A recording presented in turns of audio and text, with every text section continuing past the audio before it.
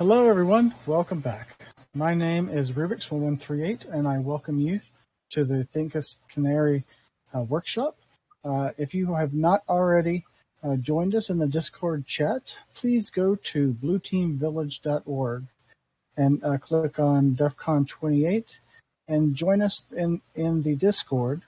The text chat while we uh, go through this presentation will be in the text workshops track one under Flamingo Hotel. Just scroll all the way down, go to text workshops track one, uh, and you can post your questions there.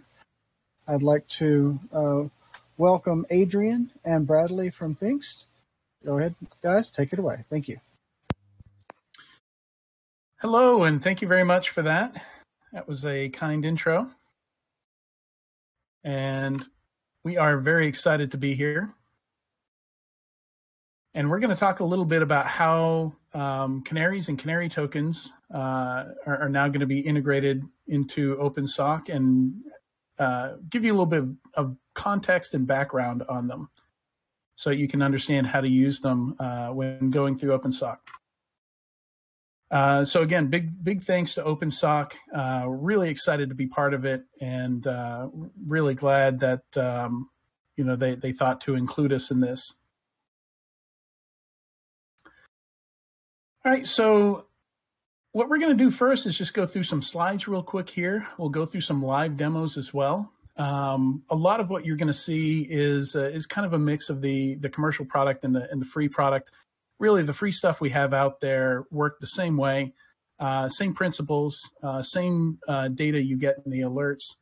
Um, uh, just for convenience and, and time's sake, uh, you know, you, you, might see a little bit of the, the commercial product here. So some of our goals uh, when we designed Canary and Canary tokens was you know, a tool that gets deployed and gets used is, is, useful. So a lot of work went into making them super easy and uh, simple to use. Uh, they take minutes to set up and deploy. So a lot of work goes into making them uh, super easy to, to do that and uh, little to no maintenance. You know, so again, you know, for a tool to be useful, uh, it has to function, you know, so any kind of maintenance, you know, we try and make, uh, um, non-existent or you know we, we can do it automatically for you in the background even the free tool um, most of that you can just uh, generate canary tokens deploy them forget them uh, deploy open canary and and pretty much forget about it until it sends you alerts um, so yeah and those alerts uh, that's a big goal also is you know how can we get this as close to zero false positives as possible and uh, ultimately you know it's it the goal here is to know when it matters, to know when an attacker's in your environment uh, as soon as possible when it matters to know that. All right, so as I mentioned, um, our open source uh, and, and, free products here, Open Canary uh, is available. It's well documented. Uh, you can grab it from GitHub. Um, I think the Docker container has been uh, downloaded uh, tens of thousands of times, so we we know it's it's getting a lot of use out there. Um, you know, the package has been installed, and the uh, you can run your own Canary token server as well with, with, a Docker container, or you can use canarytokens.org. Uh, I think we have over 100,000 people using canarytokens.org. You don't even need to create an account to use it. You can just go there right now and start creating tokens and uh, distributing them throughout your personal devices, uh, you know, your your production environment, wherever you want to use them. People use them all over. All right, so talking about the context a little bit here, what are these and why would you use them in a blue team environment or uh, OpenSOC?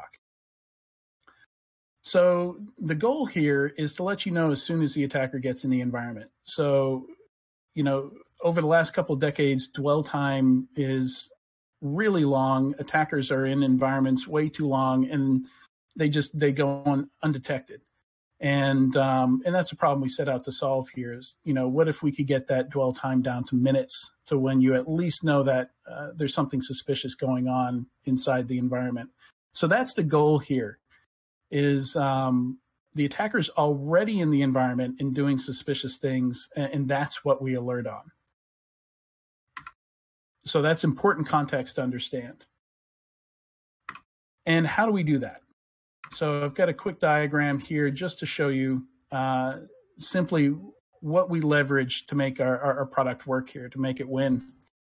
And when an attacker gets in, they don't know where anything is in your environment. They don't, you know, unless they land on a Visio diagram, on a highly detailed Visio diagram, the moment they get in, they're going to have to explore the network. They're going to have to look around for what they're uh, what they're hoping to find.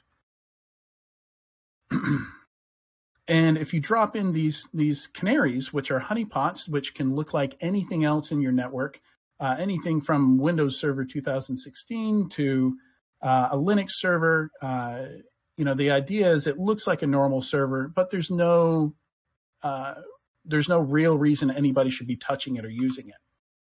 So the attacker comes in, does that same exploration, and they start setting off alerts. And furthermore, when you take Canary tokens, uh, you can set traps throughout even more of the environment. You can make it even more uh, tricky and difficult for the attacker to explore around the network without setting off uh, even more of these alerts. So really what the attacker is doing when you've deployed these traps around in your network is they're they're painting a roadmap for you. They're painting a picture for where they're going, what they're doing, uh, even their motivations. You know, what what servers are they targeting? Uh, when they open up uh, some of these token files, what are the file names that are getting them to double click that?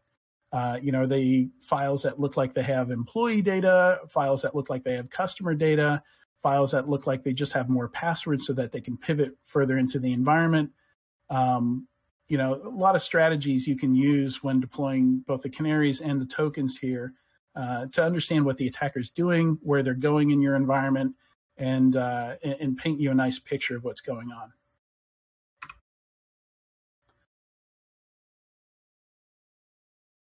And of course, uh, when those alarms do get set off, we want to make sure they go where you can get to them. Uh, in the context of OpenSOC, this is going to be Graylog. That's where you're going to see uh, any Canary token alerts or any uh, Canary alerts. Uh, of course, you know we, we can send them tons of other places, but that's that's where you're going to see them for for OpenSOC. And and we'll take a closer look at the kind of details that you're going to get in those alerts.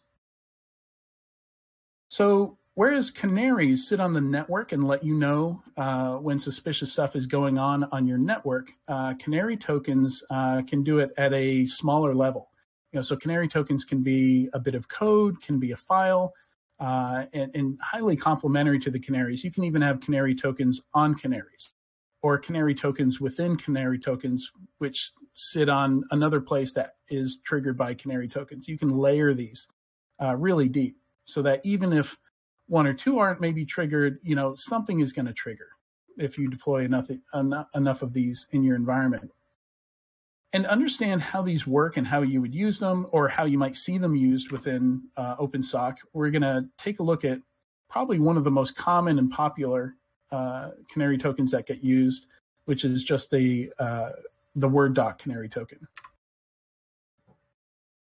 So in this scenario here, um, whoever's creating this canary token, you know, our, our, our canary user creates a word canary token and this token can look like a real word file. You can even upload an existing word file. You can copy um, any kind of contents you want in it, um, make, make it look as realistic as you want. And you're going to name it something the attacker wants. So really thinking about this, you're, you're phishing the attacker. You're using the same principles attackers use uh, against us against them. You know, you're trying to trick them into opening a file, into taking an action that's going to trigger a, a, one of these tripwires, that's going to trigger some of these alerts, and let you know what the attacker's up to. So after they grab that, you know, maybe the, they send it off to someone else. You know, they're going to sell the data. Um, but at this point, it doesn't matter. Anybody that opens this uh, this Word document, this token Word document, is going to set off an alert as soon as it's opened. You know, before you've even seen the contents of that file, it could be blank. You know, it doesn't matter how clever the file is, how cleverly you've made the ruse. You could have just been lazy and left it completely blank. And by the time the attacker knows that, it's already sent off an alert with some of their data attached to that. And the uh, Canary admin gets the alert and sees the details of who opened it, where they opened it, um, and uh, and you know what's going on. You know that that file has left that secure environment wherever you stored that file. All right. So, what can these alerts tell you? And at this point, we're going to jump into an interactive demo here. I'm going to leave the slides behind. All right.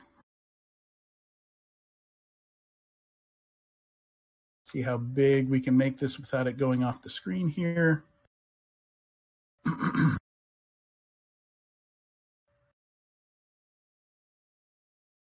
All right, so this is my console here. I've got two canaries running. Uh, one looks like a Cisco, and one is set up as a Synology NAS. And then I've got my command line here. I'm just gonna I'm gonna use this to run some uh, Nmap scans against these hosts here, just so you can see what it looks like when one of these alerts does go off. So I'm gonna copy this IP address, do a quick scan against it. Hopefully that's big enough to see there. Make that larger.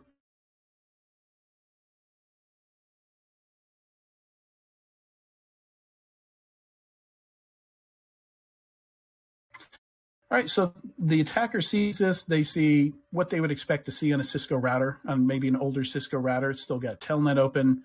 Uh, MAC address is Cisco. Uh, the operating system looks like Cisco. Looks like a Cisco 1921 router. And as you probably noticed there, as I ran that scan, we got a few alerts. So, you know, first, first thing, we know when somebody scans the canary. If you have port scan detection enabled, you're going to get alerts when you get scanned. And we can even tell that uh, it was an Nmap scan. You know, the OS uh, flag in Nmap is is pretty easy to detect. Uh, nothing else really looks like it, so so we know when we've been uh, somebody's doing some OS fingerprinting with, with Nmap specifically. So maybe the attacker tries to log into SSH. You know, they saw SSH was open here. Maybe they're hoping for some default credentials.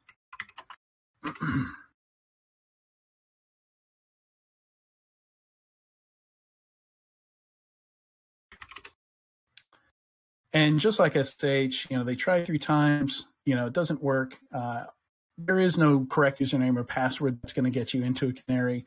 Uh, they just exist. All these services exist there for the attacker to spin their wheels, waste their time trying to get in. They could try to get in through the web config there, which is just basic auth, nothing fancy here. But they could it could throw brute force, uh, you know, dictionary attack against it. All they're going to do is generate more and more alerts for you to see what they're doing. So already we have this picture here. You know, they, they've painted this story of what they're trying to do. You know, they've scanned the network. Uh, they found something interesting. They tried to log into it. Uh, that didn't work. And they tried to log in a different way. That didn't work. And, uh, you know, you, you can see what this attacker is trying to do. And the main thing you're going to use uh, to pivot off of when you see an alert from one of these canaries is probably going to be the source IP. So some of these details can help you as well. You can see the username and password that that they tried. Uh, you can even see the uh, remote SSH version that might tell you something about the host that they're trying to get in from. Um, you know, so some of these details might help you. Uh, but this IP address and the reverse DNS, uh, these are going to be the main things uh, that you're probably going to pivot off of uh, looking through Graylog, looking through Moloch, some of these other tools uh, that that's going to point you in the right direction. And then you know the rest of the tools that you saw today, uh, if you watch any of those presentations, uh, those are going to uh, help you build that investigation and figure out what's going on. Uh, when they do hit a web server on the Canary, um, browsers are nice enough to hand off the user agent. That tells you a little bit more about the attacker. In this case, obviously, I'm using a Mac, and uh, that's revealed through it of course, an attacker could, you know, they can change their user agent. Uh, you know, they could even mask their IP address. Um, but generally, uh, you'd be able to tell if that's happening as well. You know, there's other ways of of telling that. All right, so that's that's what that looks like. Um, just doing a scan and, and trying to log into a few things on the um, on the Cisco honeypot there. And this one, the Synology NAS, uh, is also fairly interesting. We're going to do a quick scan of this one.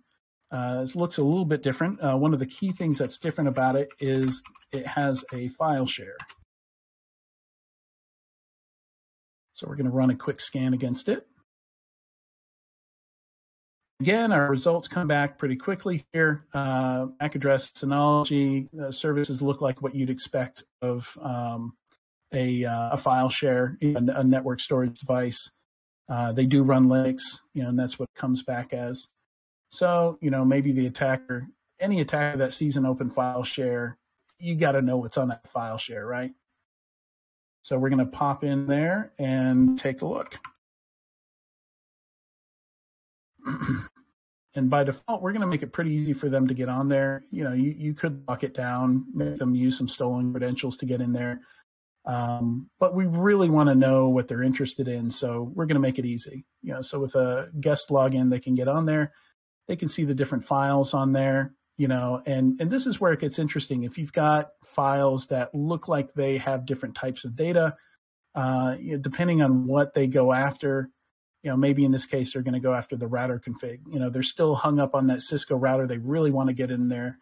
They want to check out this config, see how it's configured bummer. Looks like the the file is password protected. Uh, that's as far as I go with that. Maybe they try and open a few others here, uh, but you get to see which files they're interested in, which files they go after. So we we see here in the alert they went right after that Cisco router config. And again, by now, you know, this has painted a, a pretty nice picture. You know, we know who the attacker is.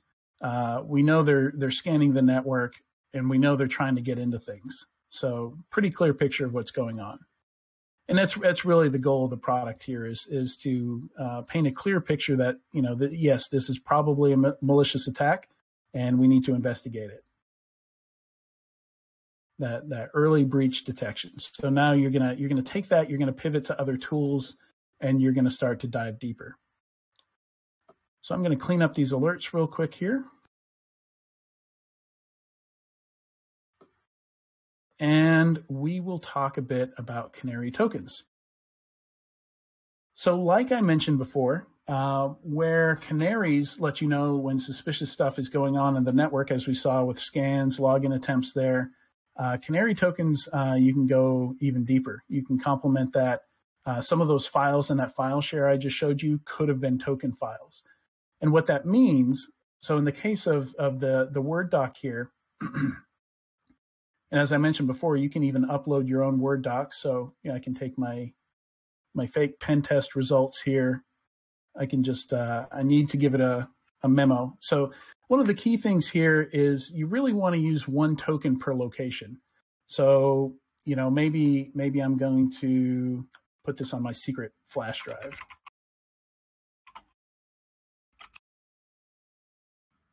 I don't know why it's secret. It's just a flash drive. I only have one flash drive. Let's say that.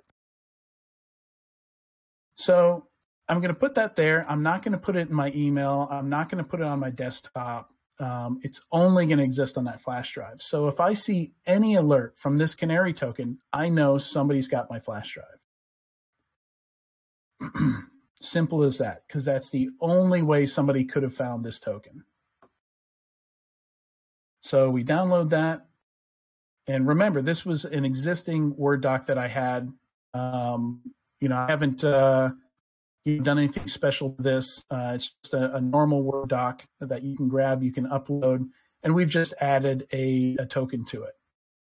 Um, so the attacker opens it up. There's no indication that this uh, Canary token has sent out anything. Um, there's no indication that uh, the attacker's fallen into a trap here.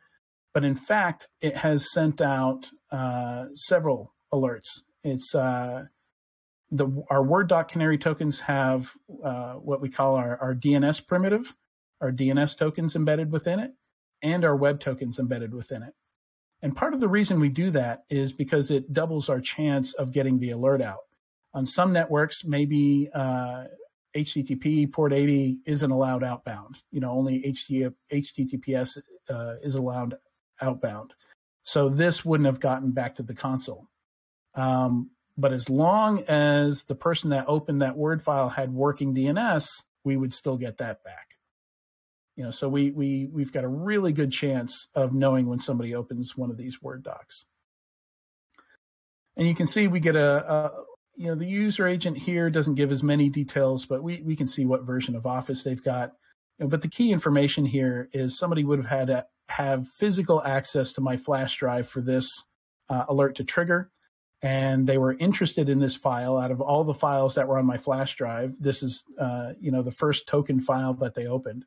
Let's say i had multiple token files on there with uh, you know different file names suggesting they have different types of data in them and they went after this one first so that's useful to me also uh, and then i've got the you know both the the dns server that handed off that dns uh, token that triggered and then the um, the web token got out as well. So you know that that's my actual IP address uh, that's assigned to me by my ISP. That's what the web server sees when this Word document opens and it reaches back to the uh, Canary token server that lives on the console here. So couple couple useful pieces of information there that I can I can leverage. Um, so yeah, that's the Word doc Canary token. Um, we do have, uh, as, you, as, you, can see here, there, there's different tokens for all sorts of different purposes. And uh, th- this is pretty similar to what canarytokens.org uh, shows. I think we have almost every single uh, one of these tokens there as well. Uh, the other one I'm going to show you here is the QR code token. Uh, this is a fun one because it's very versatile. There's a lot of ways that we see QR codes used uh, in technology today. So, setting up uh, your multi-factor authentication, uh, setting up um, you know access to a secure messaging app, um, enrollment, you know maybe into your MDM EMM uh, product. Uh, you know you, you see them out and about in, in physical places all the time you know, scan here for more information about uh, this house that's for sale, that kind of thing. So sky's the limit for how you can use these. You can use them digitally or you can use them in physical environments. So let's say I want to know if somebody gets into Adrian's lunchbox. You know, I, I don't want to know if somebody's just touched my lunchbox. I want to know if they've actually opened it.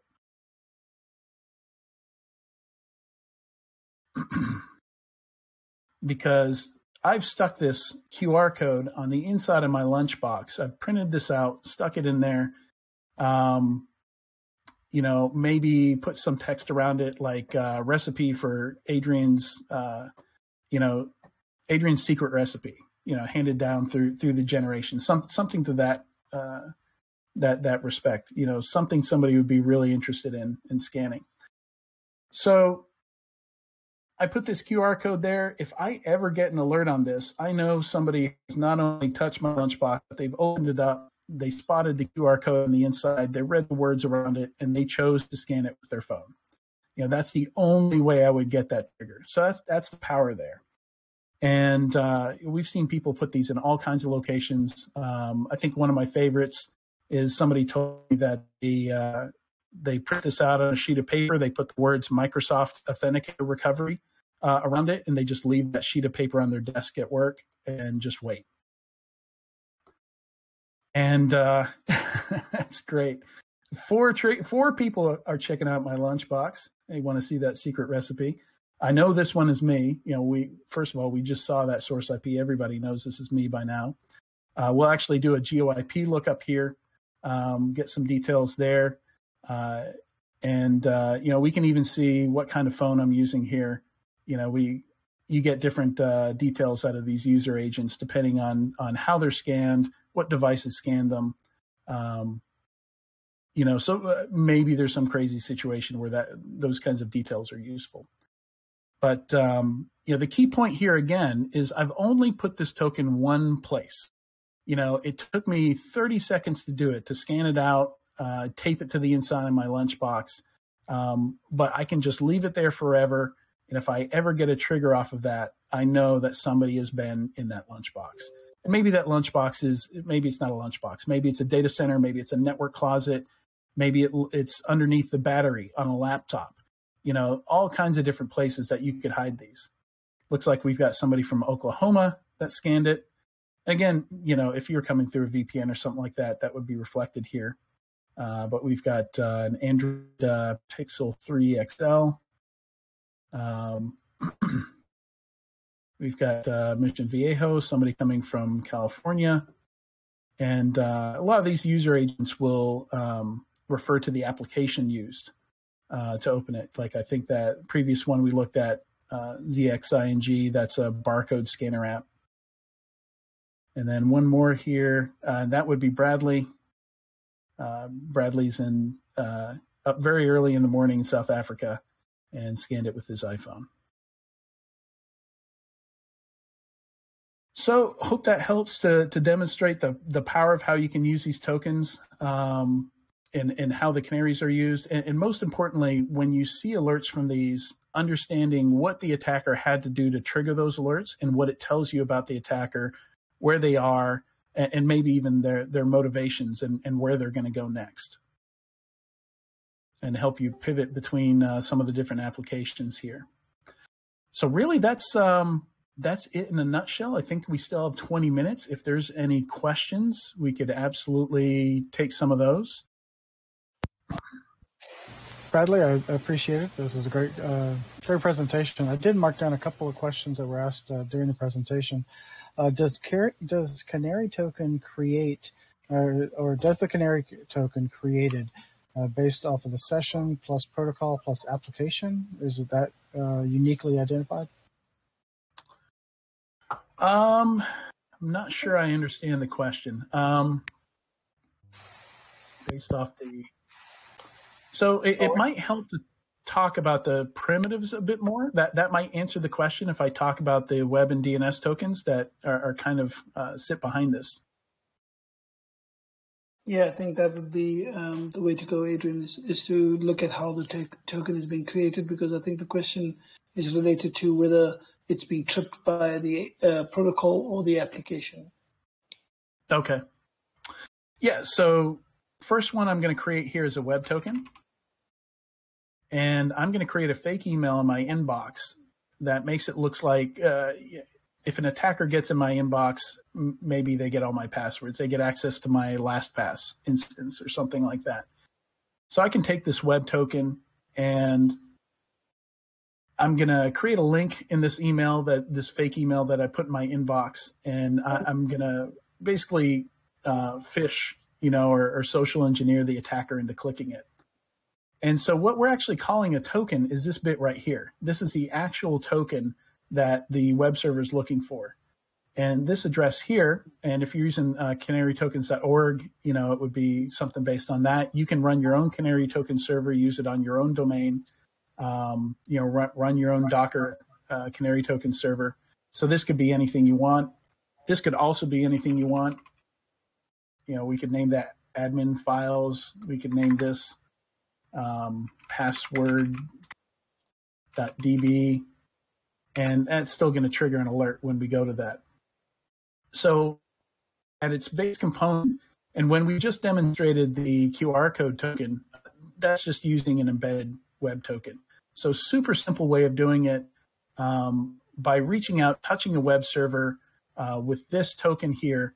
We know to map that back to Adrian's inbox. We know that that's the token associated uh, with this memo, with this reminder that I set for myself.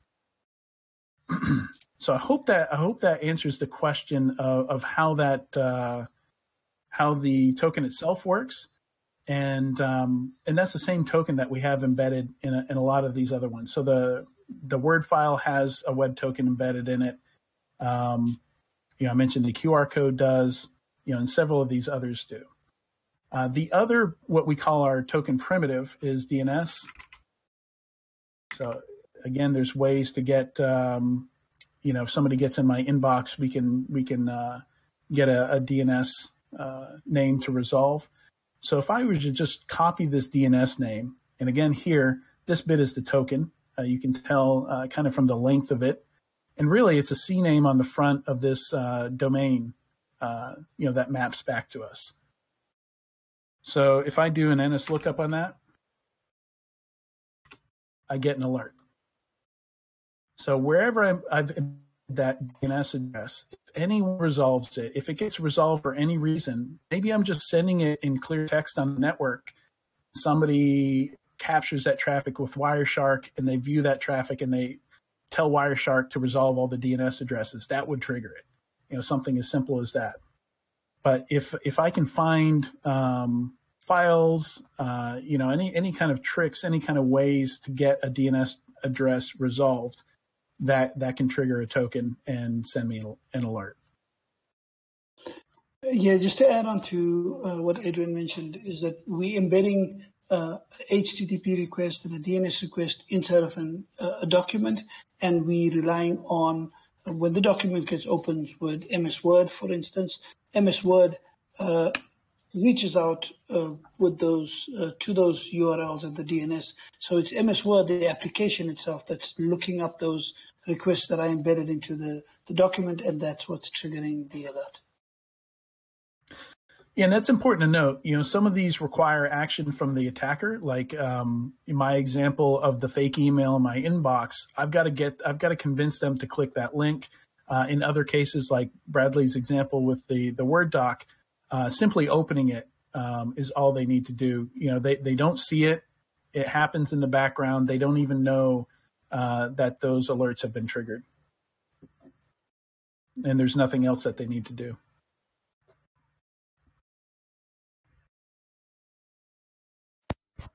Well, I appreciate it. Uh, thank you, Bradley. Thank you, Adrian. Uh, this has been a great presentation. And uh, so this uh, concludes the uh, presentation for uh, the workshop for or Canary and, and, and Chris. In any case, if you have any follow-up questions, um, the, the, the speakers will be around in the Discord for a few minutes. It, again, the Discord that we are chatting in is the text dash, dash workshop workshops dash track one in the Flamingo Health uh, hotel group. Uh, just scroll all the way down to the bottom. Uh, and so if you guys consider uh, come down, I think there's a couple of questions. If people have some, some follow up, that would be great. Uh, otherwise, I appreciate sure. everybody listening in today and thank you very much for attending.